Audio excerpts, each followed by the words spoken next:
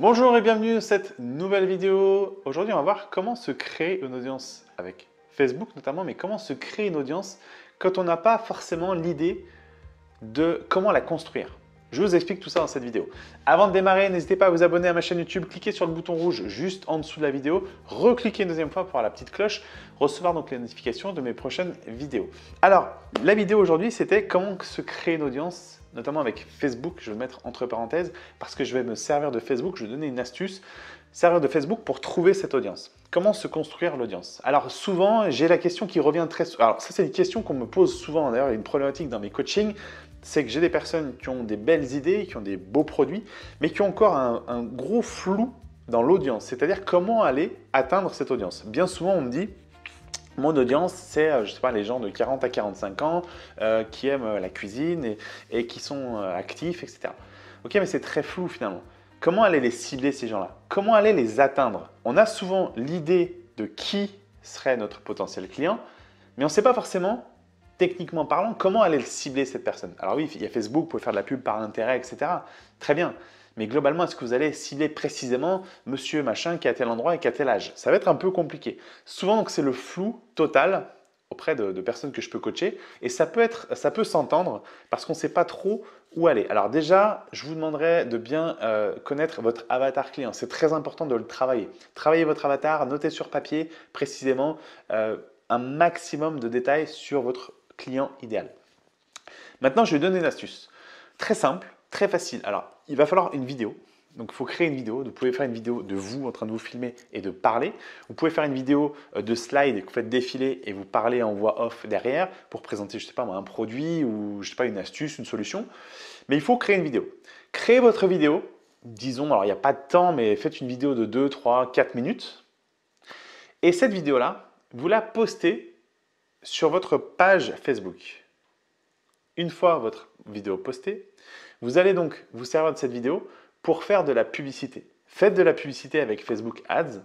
Faites une publicité en euh, version trafic, enfin vue vidéo, simplement de vue. Faites pas une, euh, publicité conversion, faites juste une, euh, publicité normale.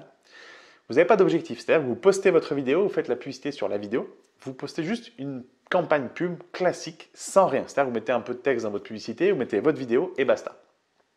Et ce que vous faites, vous mettez un petit budget? Alors, ça dépend de votre budget. Si vous avez un budget conséquent, bah, mettez, je sais pas, 10, 20, 30 euros. Si vous avez un petit budget, mettez 5, 10, 15 euros. C'est déjà pas trop mal. C'est peut-être pas encore assez, mais bon, ça suffit pour démarrer. Faites tourner votre campagne.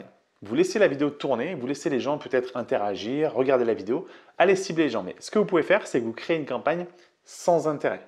C'est-à-dire que vous mettez rien dedans. Vous laissez Facebook faire le travail à votre place. Vous laissez juste, mettez rien du tout et vous mettez juste une vidéo. Donc en ensemble de publicité, vous mettez aucun intérêt. Et dans la publicité, vous mettez votre vidéo. Laissez tourner 2-3 jours, vous laissez donc votre vidéo. Alors en termes de budget, parce que je vois déjà les questions, euh, mettez euh, maximum sur les 3 jours, mettez peut-être 30 euros. Si vous pouvez plus, mettez plus. Et vous allez laisser tourner la data.